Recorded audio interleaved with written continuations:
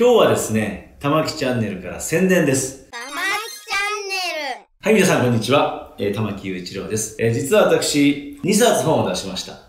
え1冊はですね、このハッシュタグ、日本やばいと。で、これは、えー私がですね、えーこう予算委員会などで、こういうパネルを作って、えー国会で論戦をしてきました。で、こういうですね、まあ、パネルの解説を中心に、えー今日本の32の問題点に絞って、まあ、税制、少子化問題、えー働き方改革、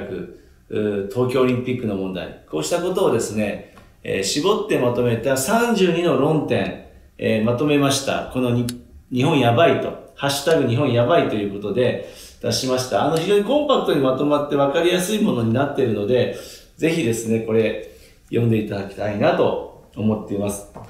で、もう一冊はですね、この、令和日本改造論といって、まあ私はこれは憲法の話、まあちょっと最近炎上しましたけども、憲法の話、あるいは農業の話、まあ政策全般についてですね、えー書いている本です。まあ子ども国債の発行とか教育や科学技術を推進していこうと、まあ、従来ずっと申し上げてきましたけれども、初めてあの網羅的にまとめた、これもですね、あの、コンパクトにまとめた本なので、ぜひ、玉木チャンネルをご覧の皆さんにはですね、えーこの、えー令和日本改造論、そして、えー日本やばい、えこの2冊についてですね、えー今日はご紹介をして、えーぜひ、えー書店で、えー購入いただきたいなと思っております。たまきチャ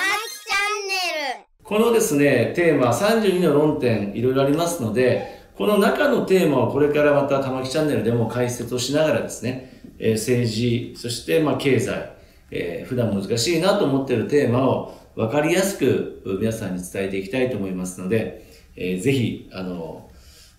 副読本として、夏休みのですね、